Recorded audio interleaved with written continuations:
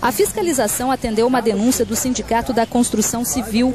A falta de equipamentos de segurança nas obras de expansão em vários pontos comerciais foi o principal problema encontrado pelos auditores do Ministério do Trabalho. Ao todo, cinco obras foram embargadas só aqui no centro da cidade. Cerca de 40 operários foram flagrados trabalhando também sem a documentação necessária. Ainda segundo os auditores do Ministério do Trabalho, as irregularidades encontradas aqui comprometem também a segurança de comerciantes e dos romeiros que não param de visitar a cidade.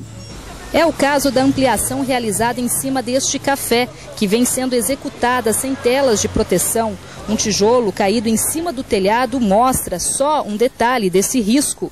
Aqui qualquer leigo nota e tem certeza que a, a coisa é muito arriscado para quem passa, até para os lojistas, até para os lojistas. Nós temos aqui situações onde os toldos da, da, da, nas lojas estão cheios de pedra, cheios de tijolo, e um tijolo desse, uma pedra dessa caindo na cabeça de um, de um transeunte, de um turista, com certeza vai causar um dano irreparável.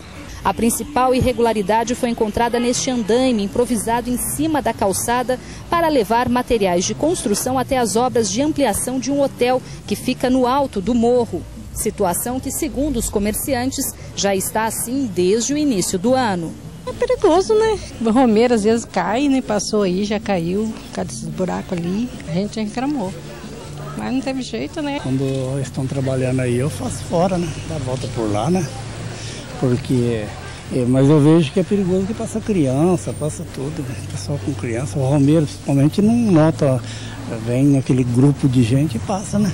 As empresas responsáveis pelas obras agora têm o prazo de uma semana para apresentar toda a documentação e prazo indeterminado para se adequar às normas exigidas pelo Ministério do Trabalho. As obras estão sendo embargadas e a partir do momento que eles façam a adequação de tudo, de acordo com como determina a legislação, aí nós voltamos aqui, fazemos uma nova inspeção e liberamos através de um documento próprio, um termo de, de, de liberação da obra. A multa também é um, um instrumento do auditor para penalizar e coibir esses abusos, essa, essas agressões à legislação e às pessoas, né, aos trabalhadores.